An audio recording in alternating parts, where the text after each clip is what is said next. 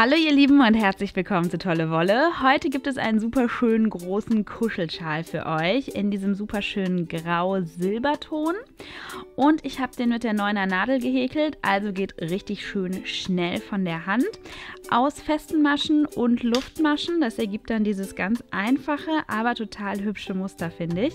Und wie es genau geht und was ich für Wolle verwendet habe, seht ihr jetzt. Ich häkel für diesen Schal wieder zwei Knäule der Creative Soft Wool von Rico Design parallel. Ich habe mir hier aus beiden schon mal den Mittelfaden rausgeholt und starte mit ihnen beiden zusammen. Ich häkel das Ganze mit meiner 9er Nadel. Die Wolle ist normal. Wo haben wir es denn? Da haben wir es. Ähm, ausgegeben hier für 5er Nadeln. Ähm, also ich häkel es ein bisschen kleiner, normal zusammengezählt. Natürlich 10er Nadel.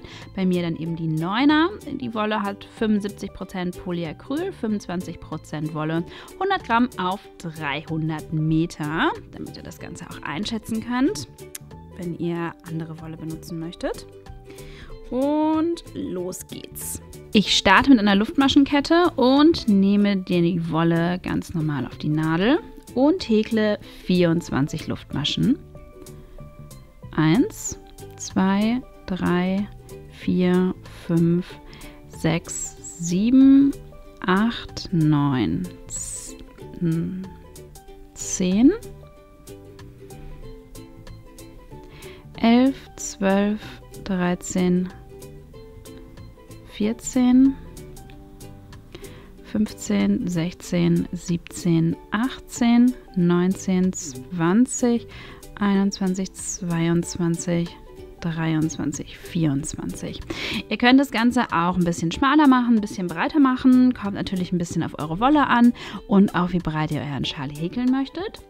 Ähm, das Wichtige dabei ist nur, dass ihr eine gerade Anzahl an Maschen als Grundlage habt. Dann lasse ich hier die ersten drei Maschen aus. Eins, zwei, drei, die bleiben frei und ich steche in die vierte hier ein und häkle dort eine feste Masche hinein. Also einfach den Faden einmal hochholen und durch beide durch. Dann eine Luftmasche. Hier unten eine Masche auslassen und in die nächste einstechen und wieder eine feste Masche häkeln. Eine Luftmasche, hier unten eine auslassen, hier einstechen und durch.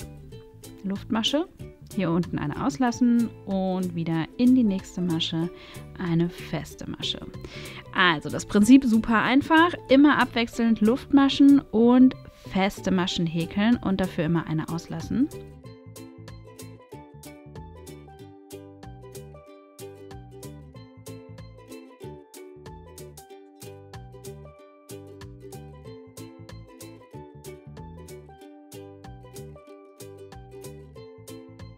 Und dann bin ich hier am Ende wieder angekommen und häkle in die letzte Masche ganz genau passend eine feste Masche hinein. So sieht meine Luftmaschenkette mit der ersten Reihe zusammen jetzt aus. Eine richtig schöne Breite für einen Schal, finde ich. Und dann geht es weiter. Ein bisschen Wolle nachholen. Und ich nehme jetzt zwei für die Höhe, drehen und das eine, die eine Luftmasche dient auch schon als Überbrückung. Ich häkle jetzt nämlich hier in diese bzw. um diese Luftmaschen herum, die ich in der Vorrunde gehäkelt habe, feste Maschen. Hier, hier, hier herumstechen durch und schon ist die erste feste Masche da. Die Masche, die hier ähm, durch die feste Masche tatsächlich entsteht, lasse ich aus Nehme oben eine Luftmasche, hier wieder eine auslassen. Das ist wieder die feste Masche der Vorrunde und um die Luftmasche der Vorrunde herum häkeln. Dann wieder Luftmasche und hier wieder eine feste Masche um die Luftmasche der Vorrunde herum. Also genau entgegengesetzt wie in der Runde davor. Überall, wo in der Runde davor feste Maschen sind, mache ich jetzt Luftmaschen drüber, eben zur Überbrückung und schon als Einstichstellen für die nächste Reihe. Also hier auch wieder immer abwechselnd Luftmaschen und feste Maschen häkeln. Super einfach. Das Einstechen ist auch ganz, ganz einfach. Ihr habt immer diese Löcher hier. von der Vorrunde von den Luftmaschen, wo man super einfach drum herum stechen kann.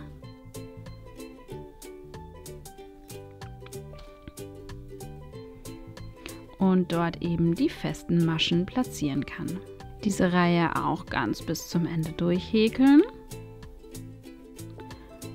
Und hier hinten habe ich dann die letzte Einstichstelle. Das ist diese kleine Luftmaschenkette vom Anfang. Dann wieder zwei Luftmaschen nehmen, drehen wieder ganz normal weiter häkeln mit äh, festen Maschen und Luftmaschen.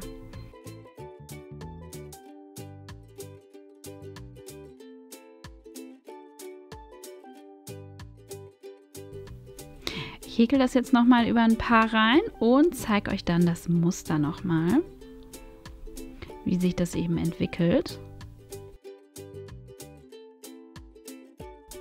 Hier hinten, die letzte Einstichstelle, ist immer ein bisschen schwierig zu finden, aber wenn man so ein bisschen fühlt mit den Fingern, eben die Luftmaschenkette ein bisschen wegzieht, ist es eigentlich auch überhaupt kein Problem. So, ihr seht, ich habe ein paar Reihen gehäkelt. Ähm, wirklich ein schönes, einfaches, sehr dichtes Muster. Sieht auch so ein bisschen aus wie gestrickt mit diesen kleinen Vs eben hier. Durchsetzt von den Querlinien, die jeweils dazwischen liegen. Ähm, ja, eigentlich ziemlich einfach, simpel gehäkelt. Ein schöner Effekt und das häkle ich jetzt über die beiden Knäule komplett drüber.